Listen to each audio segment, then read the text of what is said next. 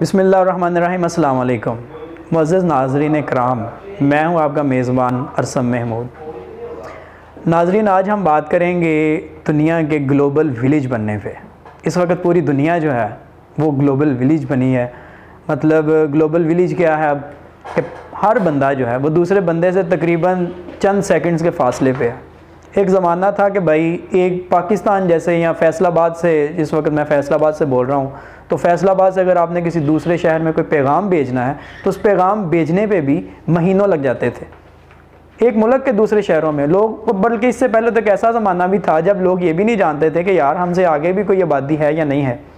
आहिस्ता आहिस्ता इंसान तरक्की करता गया और आज दुनिया जो है वो ग्लोबल विलेज बन चुकी है। अब ग्लोबल विलेज क्या है कि हम यहाँ पे पाकिस्तान में बैठे हुए हैं। आप दुनिया के किसी भी कोने में जाना चाहें तो आपके पास हर किस्म की जो है वो टेक्नोलॉजी मौजूद है जेट्स मौजूद हैं। अगर आप किसी से बात करना चाहते हैं तो वीडियो लिंक के ज़रिए बात कर सकते हैं स्काइप और इस तरह की दूसरी सर्विसेज़ जो हैं वो प्रोवाइड कर रहे हैं। इंटरनेट जब से बल्कि इंटरनेट है तो उसकी वजह से पूरी दुनिया जो है वो एक दूसरे के साथ कनेक्टेड है।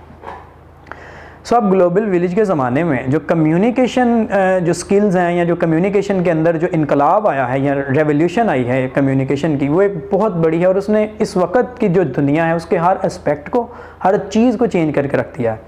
आज ख़बर दुनिया के खा किसी भी कोने में कोई भी वाक़ रूनमा होता है तो चंद लम्हात के अंदर ही वो पूरी दुनिया में जो है लोग अपने हैंडसेट मोबाइल स्मार्टफ़ोन जो हैं, उनके ज़रिए उसे देख सकते हैं। सो किसी भी चीज़ को हाइड आउट करना जो है वो बहुत मुश्किल हो गया है।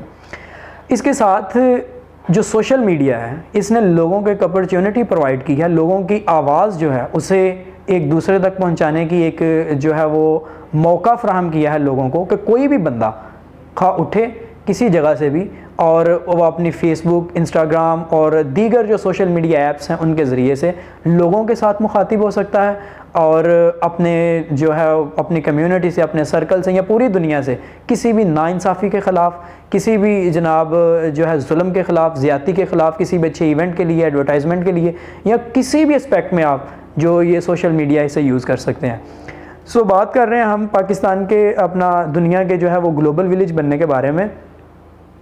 तो इसमें एक बहुत बड़ा जो चीज़ है जो अर्निंग का ज़रिया भी है इस वक्त बनी हुई वो है यूट्यूब यूट्यूब के बारे में आज से पहले अगर कोई बंदा जो है वो मीडिया की फ़ील्ड में अपना कैरियर बनाना चाहता था तो उसके लिए बहुत किस्म के पापड़ बेलने पड़ते थे। कई कई घंटे लोग जो है वो स्टूडियोज़ के बाहर बैठे रहते थे और इसके अलावा और भी जो है वो बड़े कठिन मराहल से गुजर कर जो अर्क बंदे का निकलता था तो जाके बंदा जो है वो उस अपनी आवाज़ जो है वो किसी चैनल के ज़रिए, किसी अखबार के तवसत से या किसी चीज़ के तवसत से चंद लोगों तक पहुँचाने के काबिल बनता था।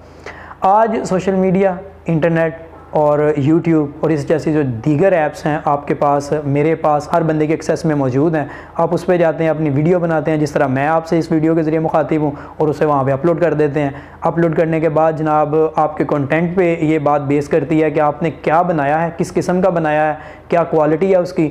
और अगर तो आप टैलेंटेड हैं तो नो डाउट जो है वो आपके लिए आगे निकलना कुछ भी जो है वो मुश्किल नहीं है। क्योंकि अगर तो वाकई आप किसी बंदे में स्किल्स हैं तो वो इस जो है वो कम्युनिकेशन की एज में, इस इराफ कम्युनिकेशन में वो पीछे नहीं रह सकता।